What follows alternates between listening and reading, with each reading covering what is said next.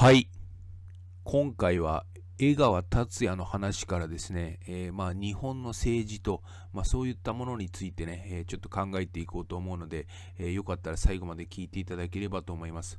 まあ、この話っていうのはおそらくまあリスナー様が関心を持っていて、まあ、ご存知の方も、えいらっしゃるかもしれないですし、まあ、なんとなく、まあ、こうなんじゃないかなっていう、まあえものをですね、えーまあ、もちろんはっきりとっていうのはわからないんですけれども、この江川達也っていう、まあ、人の、まあ、話っていうか書き込みっていうかそういったことからまあ憶測してですね、えーあとまあそれとまあ類似するっていうか共通するまあ構造っていうことでちょっと考えていきますのでまああこういうことになってるんだろうなとまあ思うっていうね、えーまあ、何かの参考にまあしていただければ。あの 最初に言いますが、うん、まあその何て言うんですかねそう笑う話ではないんですが関心のある話でありまあこういったことだろうなと、まあ、僕は前からちょっと思っていたということなんですけど、まあ、最近、えーまあ、ちょっとそれを、ま、より、ま、強く思いましたということでそちらを、まあ、シシェアしていきたいと思うのでね、えー今回もよろしくお願いいたします。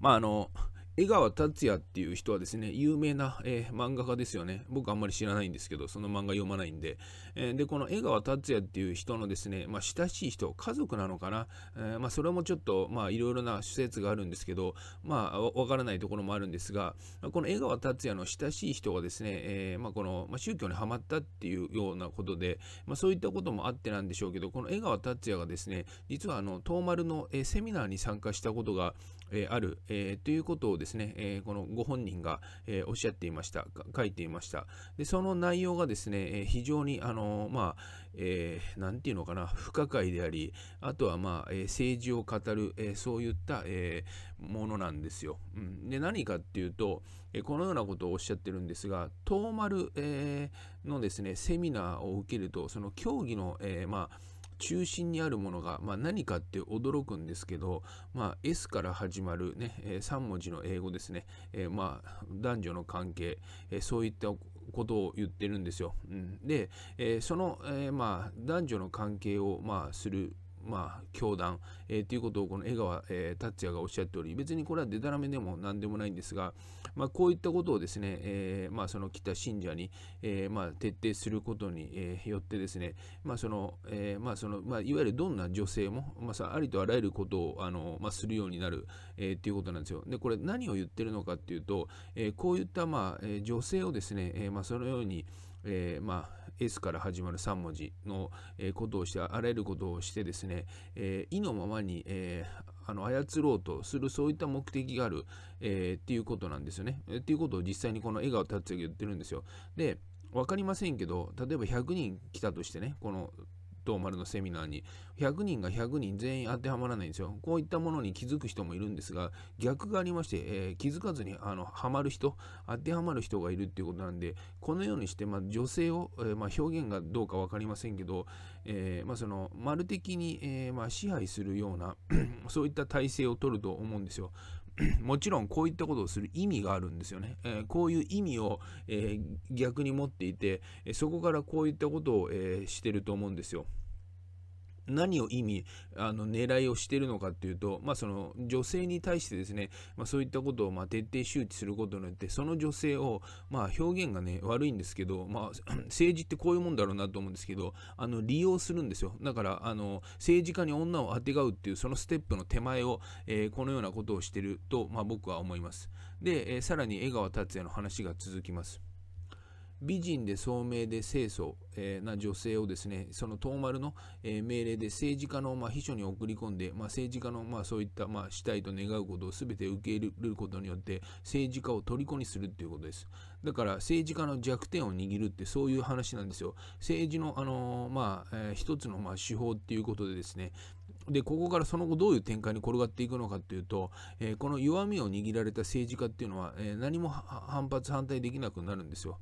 これで政治家を取り込んだっていうことです。まあ、政治家を抱き込んだ、政治家を取り込んだっていうことです。だから、まあね、その女性のリスナーの方がいらっしゃいますし、別に僕はその政治に詳しいわけでもないんでね、その一般人のおっさんですから、その政治を語るのもどうかと思うし、別にその難しいこと言ってるわけじゃないんですよ。だから政治の基本的な考え方で、えー政治家に女を、えーあてがって、女を利用してですね、えーこの意のままに、えコントロールするっていうそういったような話、えだと僕は解釈いたしました。江川達也がこの東丸のセミナーを受けた、え自分での実際の、え感想ということを言っておりあの本人江川達也本人がですねあこんなことになっているのか驚いたと、えまあ、言っていたんですよ。でこの東丸の、え一つの手法ですが、え女を当てが女を政治家にあてがう。そして政治家の弱みを、え握る。そして政治家を意のままに、えコントロールするっていうそういったことをしている、まあ、あくまでも手法のうちの一つ一つのやり方だと思いますが、えー、そういうことをしてると思います。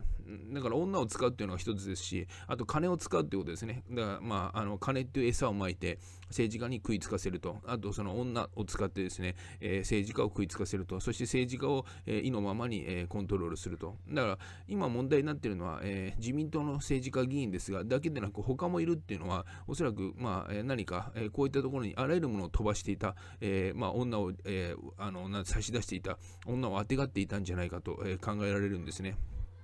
で、えー、ここからですね、またちょっと関連した話なんですが、えー、まあ、日本の宗教には2つあるんですよ。大きなカルトがね、えー、東丸とあの S 丸っていうね、S 丸、え、学会っていう、まあ、そのカルトが、2大カルトがおるんですが、そのうちの今度、あのもう一つの S 丸っていうカルトの方もですね、え政治にこういうふうに大きく裏側で関与してる。裏側で関与してるっていうのが、えー、問題なんですよ。表側もそうなんですが、表側であったらですね、えー、例えば策を講じることができるんですが、裏に回られた時点で打つ手がなくなりますから、えー、じゃあどういうふうにして、え S 丸は、えーねえ、その政治家を管理していたのかっていうことが、え、大きな、え、まあ、着着目点、えなになってくるんですが、え任風林っていうものがあるんですね。おそらくこの任風林でですね、政治を行っていたんですよ。政治を行うっていうのは、ね、僕たち日本国民に対して政治家がね、えなんかもう実際しないような、え公約とか公言とかデタラメをあの、ま、あのね、嘘吹いて話す、そんなのが政治ではないんですよ。だって何も思い通りにいかないじゃないですか。日本国民の民意が全く反映されないじゃないですか。政治の裏側の話をしてるんですよ。うん、どういうことかっていうと、まあ、その東京にですね、えー、まあ、パソナっていう会社が持っているニンプーリンっていうサロンがあるんですね。このサロンっていうのは一応表向きの、まあ、名目があるんですよ。その政治に使うとか、ま人々が、えー、会って会合するとかってそういった、え、話があるんですが、それ、そのニンプーリンの、え表の顔がそうなんですが、このニンプーリンには裏の顔があるんですね。裏の顔っていうか、裏の目的、別の目的があるんですよ。パソナの社長である南部っていう、人ですが、今はどうなんだ、会長になったのかな？わかんないけど、その当時、ニンプーリンが、えー、まあ、このよく政治利用されていた時、えー、このパソナの社長の南部のに、南部のですね、南部の背後に、南部の背後にケゲナカがいたんですね。ケゲナカっていうのは何者かっていうと、あの外国勢力、えー、のですね、傘下に入っておりますので、えー、C○A の、え、まあ、言うことを聞いたりとか、え、グローバリストの言うことを聞いたり、そういう、まあ、人間ですので、まあ、日本の政治の裏側に深くこれ関与してるんですよ。だからその表、表向きのけげなかの動きっていうのはね、その政治の中枢に入ってるっていうことを、えー、も言われて、まあ、その表側からしてもそのようなことなんですが、実はこの男ですね、裏で様々な画策をしていたっていうことが考えられるんですよ。で、これ、妊婦人は何かっていうと、表向きはね、その政治家とか、まあ、いろんな有名人とかが、まあ、お食事をするっていう名目でね、会って話をするっていうことなんですが、裏に別の意味があるんですね。うん、この参加してきた政治家を、えー、に対してですね、女をあてがうっていう、えー、まあ、女をだから利用して、えー、女を政治家にバンバンバンバン当てるわけですよ。その後ろに S 丸丸会がいたっていうことで、でこの任風林にあの安倍晋三が来ていたっていうこともこれ分かってるんですよね。うん、で、任風林はこれ何かっていうと、まあ、そのお上がいるんですが、まあ、お上も、まあ、まあ、男からしたら美しいっていうような、えまあ、女の人で、えその、まあ、うん、あてがわれる女たちですね。あてがわれる女たちもスタイル抜群の美人だったっていうことが、えー、言われており、ニンプーリンの、え、女の子の別名をですね、喜び組とかって言われてるんですよ。まあ、ある外国の国でもこういった名前ありますよね。え、そういったものを、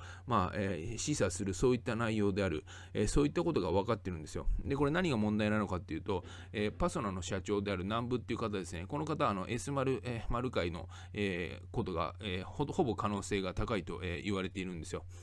パソナの社長が S○○ 会、その背後にケゲナカがいた。えー、つまり、日本のこの政治家、えー、まあ、その安倍晋三とかそうですし、まあ、言い出したら他にも何人もいるんですが、そういったものがここで、えー、まあ、様々なね、まあ、表向き会食ってお食事をしていると思いますが、その後ね、えー、まあ、どういったことを、まあ、していたのかということは、えー、まあ、容易に想像ができるんですよ。これ何を言ってるのかっていうと、あのすごくあの僕たちが知ることができない日本の政治のその裏なんですよ。だからその、ね、政治家が表側でなんかその綺麗事とかね、そのあのしえない公約言うとか、そんなことは別にもうどうでもいいんですよ。どうせやんねえから。うん、そそんなことはいいんですよ。ただ何が問題なのかっていうと、裏側でですね、えー、この日本の政治を操ってんのは、えー、東丸丸会、S 丸丸、S 丸学会のこの2つ、えー、がですね、おそらくこのうまく女を利用して、えー、まあ、女っていう表現も失礼ですが、女を利用して、えまあ、女性を利用して政政治家にあてがってると。だから、日本の政治っていうのはね、その皆さんも思ってると思いますが、おかしいことが多数あるんですが、政治家が表側に言うことっていうのは、ほぼほぼ、まあ、嘘であるんですよ。で、そのことをもちろん肯定もしないんで、もうどうしようもない政治家がほとんどだと思うんですけど、日本の国益にかなうことをやらない人間がほとんどだと思うんですが、その裏側でですね、別のことが行われている可能性があるんですよ。まあ、その、まあ、えー、外国のその宗教ですよね、えーまあ、T 丸とか S 丸とかっていったものが、えー、女をあてがって、えー、政治家の弱みを握って、えー、それでですねこちらの方向に話を誘導しようとか、うん、そういうことがずっと多分行われていたっていうことを、えーまあ、僕はちょっと前から思っていたんですがこの江川達也という方のですね、えーまあ、情報を見つけたんで、まあ、こういう感じかなと思ってでこの、えー、妊婦林の話もこういう感じかなと思ってもちろん証拠っていうのはないですよ。こんなものの証拠が出てきたら、えー、大変なことになるんで、えー、意地でも隠してますがこういうことことをやってるんですよ。僕はそう思ってます。この妊婦林の話は一部ですね、昔あの週刊誌にも出たことがあるんですが、まあそんなに大きく、えー、取り上げられることなく、まあ、消えていったと。まあそういったところにもね、えー、このマスコミの裏側に圧力をかけて出してはいけない、え、話だったので、えまあ包み隠したのかなと、まあ、思うということでね。うんまあ、皆さんも思ってらっしゃると思いますし、僕も思うんですけど、日本の政治って一体何なんでしょうね？うん、日本の政治家とか。もうろくなことをあのしないと。まあ、最近はそのあの自民党の東丸の話でよく話題になってますが、もうそれ以外ですよ。もうそれ以外のところも、まああのまあ、腐りきってると、まあ、思うということでね、まあ、こういったことをですね、えー、一人でも多くの方が気がつくっていうことで、まあ、そういったところから徐々に徐々にあのいい方向にあの向かっていくんじゃないかと、まあ、僕は思ってるんで、えー、まあ皆様の何かしらお役に立っていただけるものが、えー、あればと思いましてお伝えさせていただきました。最後まで聞いていただいてありがとうございます。